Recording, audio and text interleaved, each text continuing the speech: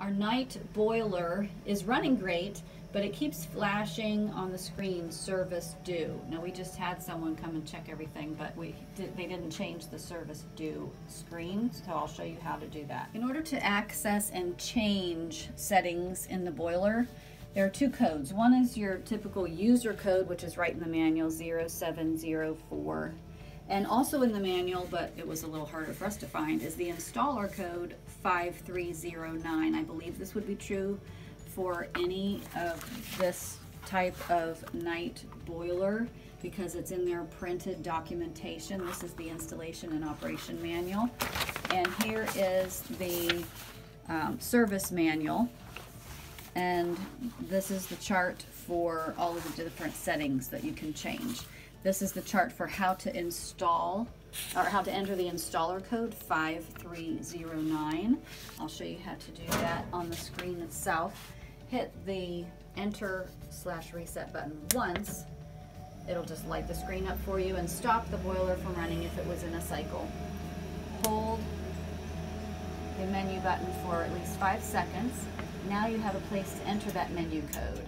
It's 5309, but it's only allowing you to enter from the side first.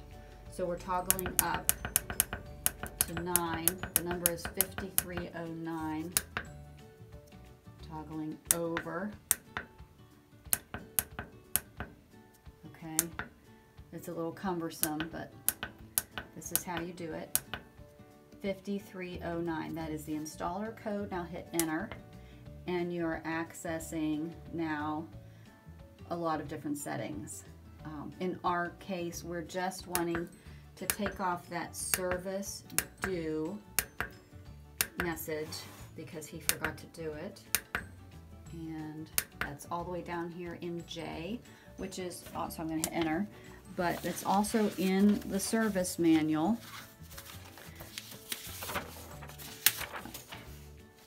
Here are all the different settings you can look up. Okay, here's the service notification section and how you can do that. So this is called J1, service interval time. That's not what we want. We're toggling down or up, as the case may be. Service interval runtime, no, we're not changing that. We want uh, one more there. Reset service. Okay, and so we're hitting enter. That is what we want. Um, yes, enter, or no, escape.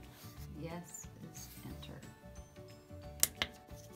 Just hit the exit button and the service due message that was flashing every five seconds has gone away. That's been reset. Now, you do need to get your boiler checked every so often. Usually default um, setting is every 12 months.